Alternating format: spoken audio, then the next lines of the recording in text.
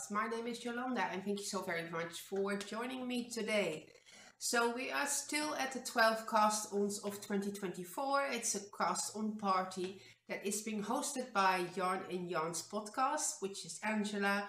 And uh, this year I am joining her with 12 cast-ons. So um, we're today we have finished or we have worked, I have worked on cast on number six and seven. Number six was a washcloth, which was is finished, of course. And number seven is a spinning project, which will accompany the cast on of a very small project. So I have finished two spinning projects and two washcloths, so the rest will be bigger projects from now on, which is all fine and also very exciting. So the washcloth. Was the washcloth that is called the pretty little dishcloth it's part of a very nice ebook. And this is the washcloth. So it has a very nice lace edging. And the ball is still attached but that is fine. It is the same yarn I used the cotton acrylic blend from drops. The drops cotton light yeah, this is very soft and it holds up very nice because I have already a multiple washcloths of the same uh, fiber content, same yarn. Uh, my spinning project is still ongoing. I have spun 400 grams of fiber. Right, let's start some spinning. I have 400 grams of this beautiful fiber, which is an unknown fiber, but it is black and it is sparkly. And I think this will be an amazing sweater for some festive occasion. So I will spin it just as it comes and try to make it a, a nice yarn.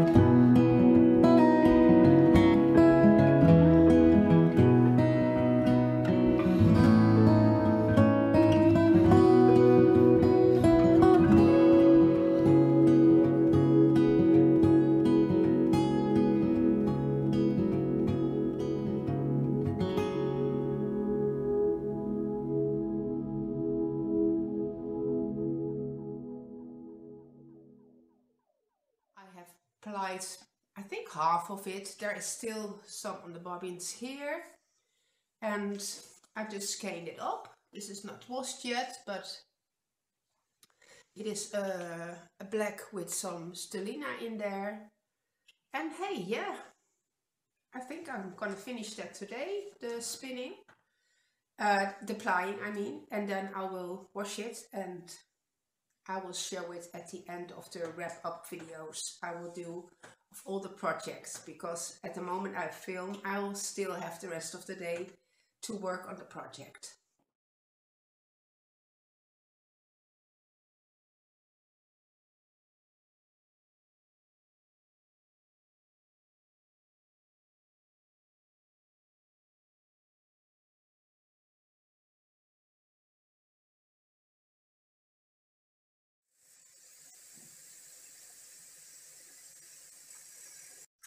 So then we have seven projects um, in the past and we will start drawing for project number eight, which means we're already past half. We're going to 12 and we are at eight today. So my little bowl is still here. There are still uh, socks, there is a brioche, learning brioche, uh, a few sweaters, a top. Yeah, there's still plenty of things to go. So it doesn't really matter which one I take because I, in the end I will make them all. But this is number, is it number, I think it's number nine. Pretty sure it's nine. Let me see. Yeah, it is number nine. Just make sure. All right, number nine. Number nine is the socks, which is very nice. The Brambling socks.